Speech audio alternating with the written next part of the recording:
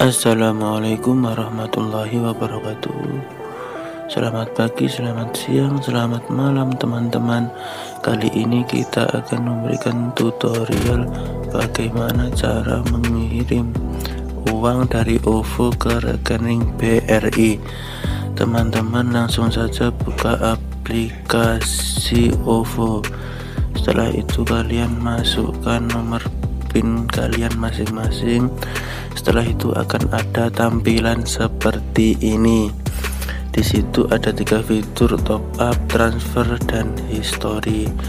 Teman-teman klik yang tengah itu transfer setelah itu ada tampilan seperti ini ada ke sesama OVO yang kedua ada ke rekening bank. Di sini tujuan kita adalah transfer uang dari OVO ke Bank BRI kalian klik ke rekening bank. Setelah itu ada tampilan seperti ini yaitu pilih bank atau tujuan bank kalian. Klik tanda panah ke bawah. Setelah itu akan ada tampilan seperti ini. Di sini ada pilihan bank yang akan kita tuju. Di sini sangat lengkap fiturnya mulai dari Bank Panin, Bank Mandiri, Bank BTN, Bank BNI, Bank Job Indonesia, bahkan ada Bank Kaltim, Bank Kalsel atau Bank Papua. Karena di sini tujuan kita adalah mentransfer uang dari OVO ke BRI. Di sini saya akan memilih atau mengklik Bank BRI di sini Bank BRI urutan nomor 2 kita langsung klik saja setelah ada tulisan seperti itu kalian tinggal masukkan nomor rekening. Di sini nomor rekening saya sudah saya catat saya tinggal mensalin atau mencopy. Setelah itu kita buka aplikasi OVO lagi.